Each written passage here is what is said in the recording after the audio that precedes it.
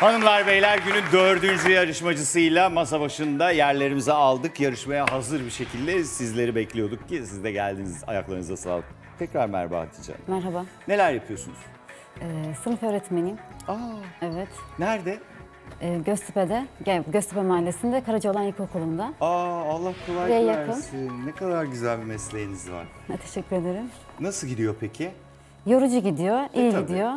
Ee, işim, dışında pek bir şeyle ilgilenmiyorum desem yeridir. Aynen. kalmıyordur ama işiniz de çok böyle bir aslında sürekli beslenmenizi gerektiren bir Aynen, şey olduğu için aynen. birçok konuda da bilginiz, fikriniz vardır diye tahmin ediyorum. İddialı değilim. Hay hay İnşallah öyledir. yarışma için sormuyorum be Hatice Hanım. Genel olarak söylüyorum. Ya inşallah öyledir Yoksa diyelim. yarışmada zaten en iyi bildiğiniz şeyi bile unutabiliyorsunuz. Heyecan çok önemli bir faktör. Hiç o yüzden onunla ilgili bir şey sormadım. Kelimelerle aranız nasıl? Ee, iyi diyebilirim. Ama ondan da şu an vazgeçebilirsiniz. Ben Evet. zaten dilimizi bilmiyorum pek deyip buradan yırtılır mı acaba? Bulmacaları seviyorum. Çok güzel. Yani fırsat buldukça çözüyorum öyle. Onun dışında E, çok pek bir güzel. şey yok. Tamam. Başlayalım mı biz? Başlayalım. Başlayalım. Hanımlar beyler ilk kelimemiz geliyor. Gürcistan para birimi. Bizimki Harf ne? alayım. Aldık. Harf aldık. Bizimki ne? Lira, E işte harf değiştiriniz sesli harfleri. Lari. Lari doğru cevap. Yine Türkçe kökenli bir sıfat sormaya karar vermişiz. Dört harfli yapıştıralım soruyu. Tartıda çok çeken kilolu hafif karşıtı. ağır, Doğru cevap. Manidar bir e, soru oldu. Efendim beş harflerle devam ediyoruz. E, Arapça kökenli farklı anlamları da var bunun. Ama biz bakalım hangi anlamı sorduk. Gelsin bakalım. Kötü niyetli düşüncelere hakim kimse ara bozucu. harf alayım. Harf aldık. S. Fesat, Fesat doğru cevap. Beş harflilerle devam ediyoruz. Türkçe kökenli bir sıfat yine. Gelsin bakalım soru. Paylaşmanın güvene dayalı olan türü. Aşk falan. Aa, evet. Değil. harf alayım. Verdik.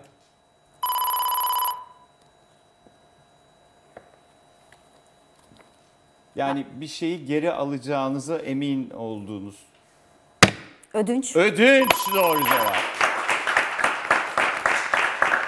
Altı harflilerdeyiz. Efendim Türkçe kökenli bir isim soylu sözcük soracağız. Gelsin bakalım bak yine canımı istetti. Üzüm ve dut gibi meyvelerin kaynatılarak e, elde edilen özütü pestil, değil. Sıvı olanını düşünün. pekmez. Pekmez doğru cevap. Yine altı harfli İtalyanca kökenli bir sözcük. Ee, bakalım nasıl soruyoruz. İtalya'da bay anlamında kullanılan ünvan. Harf alayım. Harf verelim. İtalya'da bay anlamında kullanılan ünvan.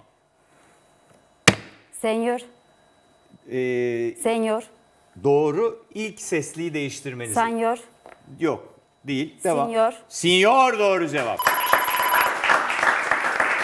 Yedi harflilerdeyiz. Tek kelime Fransızca kökenli. Bakalım nasıl sorduk. Tarladan sofraya katkısız yolculuğun tanımı. Reklam gibi soru. Tarladan sofraya katkısız Harf yolculuğun alayım. tanımı. Harf aldık. Kat, tarladan sofraya katkısız. organik, Organik doğru cevap. Efendim yarışmanın ortasındayız. 3200 puanımız, 2 dakika 41 saniyemiz ve 21 alabileceğimiz harf var. Bence gayet iyi gidiyoruz. Ee, Heyecanınız aynı şekilde devam ediyor. O da, da- tamam sormadım bir şey. Devam ediyor. istediğiniz gibi. 7 harflerle devam ediyoruz. Yine mutfaktan bir e, soru geliyor. Arapça kökenliymiş. E, buyursunlar. Doğranmış sebzelerin kıyma ve soğanla pişirilmesiyle yapılan bir yemek. O kadar severim ki. Harf alayım. Sıralamayı yanlış yapmış olabilir misiniz? Harf yani alayım. önce harf alıp sonra basmanız gerekiyordu. Doğru Bastığınız ama için- heyecandan. Ha, Kavurma değil, dur. Değil. Doğranmış sebzelerin kıyma ve soğanla. evet. Ay gitti. Yok be niye gitti? Bunun yani bunun mesela patlıcanlısı çok meşhurdur. Musakka. Musakka doğru cevap. Mesela ben şeyi bilmiyorum. Bu hani patlıcanlı olan da musakka, kabakla yapınca da mı musakka oluyor? Bilmiyorum ki doğrudur belki. Vay gördünüz mü? Bilgi gibi bilgi sevgili izleyenler. Her şeyin her şeyin şakası olduğu gibi her şeyin musakkası da oluyormuş. Olabilir. İnanılır Oturtma da gibi var. Ne? Belki oturtma da birbirine benzer olabilir. Oturtma da ne? Ya oturtma da var. Ha, belki evet. yakındır, birbirine Olabilir. benzerdir. Doğru olabilir. Yani benzemiyor da şey evet fikir olarak benziyor olabilir. Patates oturtma var, patlıcan oturtma da var. Evet. Kabak oturtma da mı var? Ben bu Belki kabağı vardır. niye taktım ya? Benim kabakla alıp veremedim ne acaba? Peki. Belki vardır. anla- sever misiniz yemek?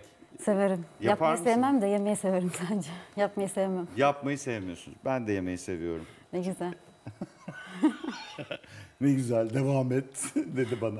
Evet devam etti demedi ben anladım. Estağfurullah. Efendim 8 harflerdeyiz. Birleşik bir kelime. Arapça başlamış, Farsça devam ediyor. Hiç ilginizi çekmeyecek bir bilgi. Gelsin bakalım soru.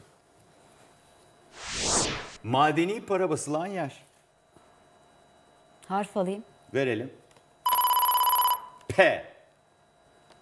Harf alayım. Evet. D. Darphane. Darphane doğru cevap. Yine 8 harfli Fransızca kökenli bir edebiyat terimi. Gelsin bakalım nasıl sorduk. Bir kişiye bir konu üzerinden sorular sorarak bilgi alma amaçlı yapılan gazete ve dergi yazısı. Harf alayım bir tane. Harf alıyoruz. J. Röportaj. Röportaj. Doğru cevap. 9 harflilere geçtik. Efendim tek kelime bir cevaba ihtiyacımız var. Bitki biliminden geliyor. Bakalım nasıl soruyoruz. Sedef otugilleri içine alan bir alt familya. Harf alayım. Harf aldık. Sedef otugiller. Sarf alayım. Harf aldık. Sedef otugilleri içine alan bir alt familya. Harf alayım. Harf aldık. Aslında çok da bildiğimiz bir şey. Harf alayım. Bir tane daha aldık. Rahatız harf konusunda ya. Bildiğim bir Hiç şey. şey yapmayın. Narenciye. Narenciye doğru cevap. Efendim kaldı 3 sorumuz. Bakıyorum ikinci 9 harfli aradığımız cevap da iki kelimeden oluşuyormuş. Ee, gelsin bakalım nasıl e, sorduk. Yiyeceklerin çok acı olduğunu anlatmak için kullanılan ağız yakan bir tabir. Harf alayım. Harf aldık. Harf alayım. Harf aldık. İkinci kelime bir edat. Vedat. Evet. Tamam. Harf alayım. Harf aldık. Harf alayım. Bir al, alacak. Biber gibi. Biber gibi.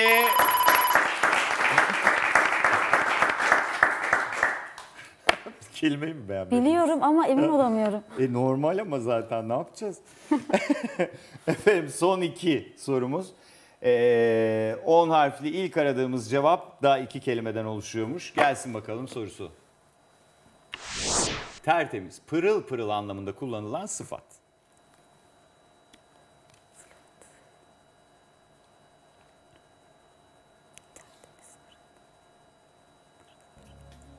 İkileme bu. Pırıl pırıl. Onun gibi. Tertemiz pırıl pırıl. Böyle daha çok böyle ses gibi biraz. Harf alın. Harf alayım. Aldık. Güzel yerden geldi. Gıcır gıcır. Gıcır gıcır doğru cevap. Ve son sorumuz gelecek. Yine iki kelimeden oluşuyor ve sonunda da iki harfli master ekimiz var. Gelsin bakalım sorusu. Bir şeyi ya da kişiyi olduğundan daha az değerli görme. Biliyorum ama. Kesinlikle biliyorsunuz. 8 tane harf var alabileceğiniz. Risk alacağım. Küçümsemek. Değil, iki kelime dedim. Ha pardon. Ben inanamıyorum şu an Bir ya olana. da bir kişi olduğundan daha az değerli görme.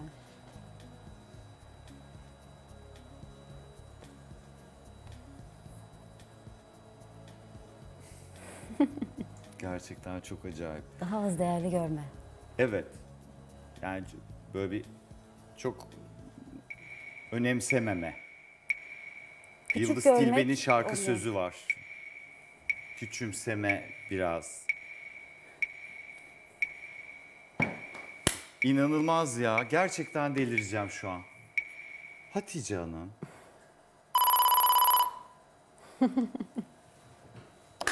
Çok güzel gitti ama devam. Yani gerçekten kendi kendinize fişinizi Evet. çektiniz. Yani biri uğraşsa bunu yapamazdı. Size helal olsun. Vallahi bravo. Gerçekten Böyle- öyle. Yani cayır cayır gidiyordunuz hiç riske atmadan birinci olabilecekken orada harfler yatıyor kabak gibi. Vay be. Ama E, olsun çok mutluyum ya buraya geldiğim için. Valla biz de çok mutlu olduk. Keşke daha hak ettiğiniz puanı alsaydınız siz de hani cayır cayır devam etseydiniz. Neyse belki bir daha gelirsiniz. İnşallah. Ayaklarınıza sa- oldu görüşürüz. Buradan eve gideceksiniz galiba. Hatice Hanım, Hatice Hanım'ı alkışlarla yerine uğurluyoruz. Ve son yarışmacımız geliyor.